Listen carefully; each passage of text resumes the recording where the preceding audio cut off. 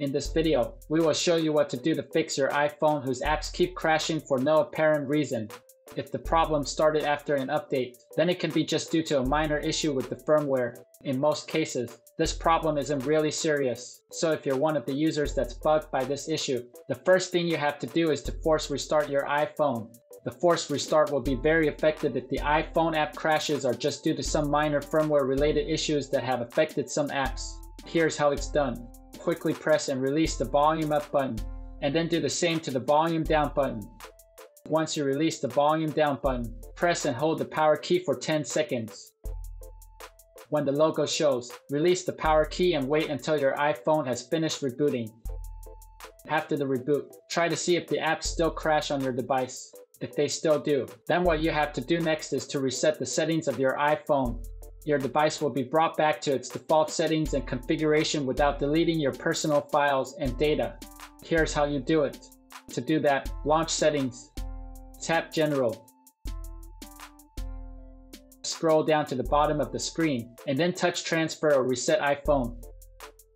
Touch reset to view all the options. Tap reset all settings. If prompted, enter your security lock. Tap Reset All Settings at the bottom of the screen, and then touch the same option to confirm.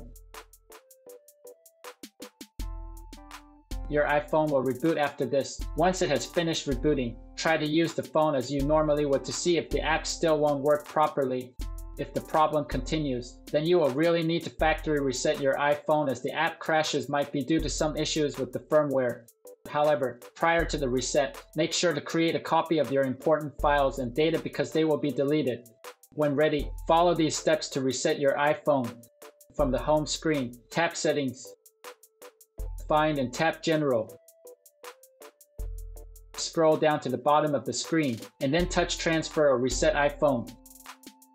Tap Erase all contents and settings and touch Continue. If prompted, enter your security lock.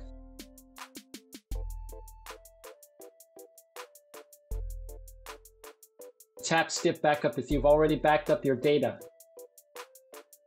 Now enter your Apple ID password and then tap Turn Off at the top right corner. When the reset is complete, set up your iPhone as a new device. I hope that this simple troubleshooting guide has been helpful.